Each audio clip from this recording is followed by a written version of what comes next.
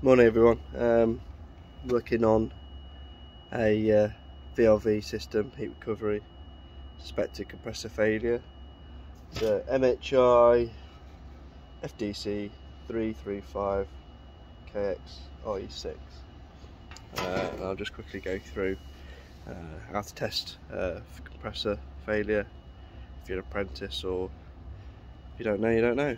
Um, so first things first, uh, isolate it, disconnect the power, and then uh, test each phase, make sure it's dead. Um, disconnect the compressor, leads have been taken off, it's been disconnected. So you want to set your testers continuity and then you want to test on your terminals so we're basically what we're doing is we're testing the terminals windings inside to an earth. Obviously we shouldn't be getting anything. So if we test on there we're obviously getting a path through. I'll see if it's the same on all of them.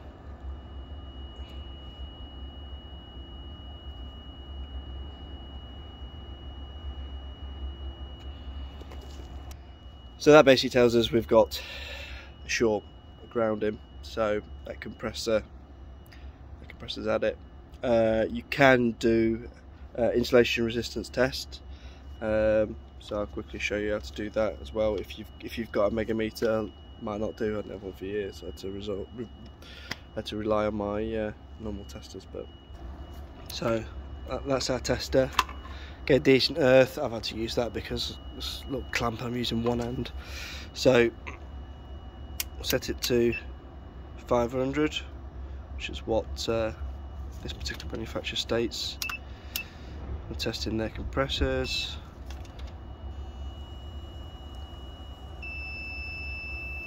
Yeah, so we've gone out two volts and we've got a straight path. So yeah, another test to say that it's, it's failed. Uh, the other thing we can do is we can test the inverter. It's an inverter driven compressor. We'll test if the inverter's good. Um, now with this particular model, you've got to flick um, JSW10 number 4 because it is MHI's KR6.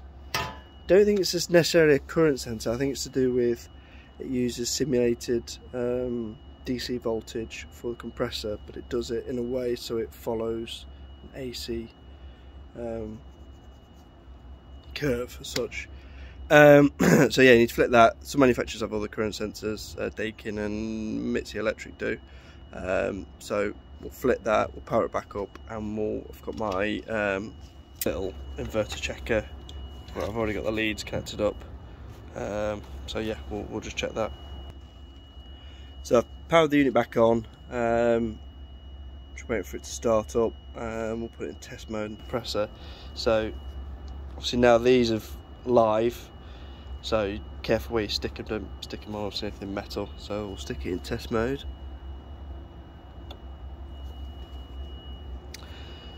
So what we should see is this light up and spin. Now, if you don't have an inverter checker, the other way you can do it is if set your testers to volts and just make sure you have equal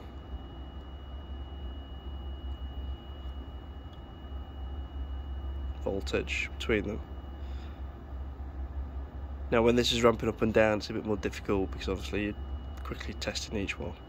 But it's there or thereabouts so we'll see if it starts lighting up. See there we go start lighting up. Probably cut itself out in a minute. So it is spinning. So what we'll do is when that's spinning up we'll just see what we're getting on here. So 148 so that's just dropped out because it stopped so we'll see if it will get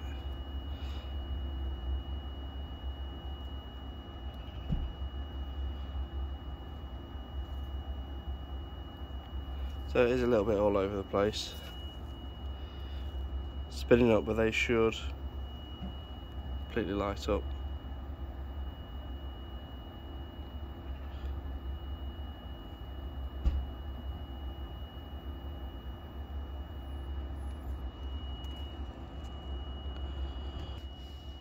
So yeah, so yeah, quick and dirty way of uh, testing compressors really. Um, the other thing you might struggle on is if you have a locked compressor, uh, realistically what you're testing there for is how many amps it pulls when it cuts out of. Uh, each manufacturer has different, but normally some of these smaller VRVs I've seen it sort of you cut out around 15 16 amps and then that's it. You'd normally get a fault after a couple of tries.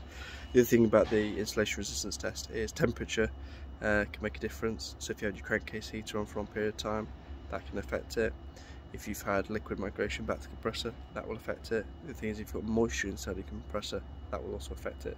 But as you can see on that one straight away uh, 3 volts I think it is and it's yeah gone to infinity so dead compressor. So replacement compressor uh, got a few other things to test to test out possibly why this compressor's gone. I mean it's quite an old system uh, now so when we do take the compressor out I'll cut it up uh, we'll see if there's any copper plating uh, inside of it. Uh, we'll have a look at the windings and uh, we'll test the oil as well. Um, I have to do uh, some uh, rectification work if the oil's bad and stuff like that. So yeah alright.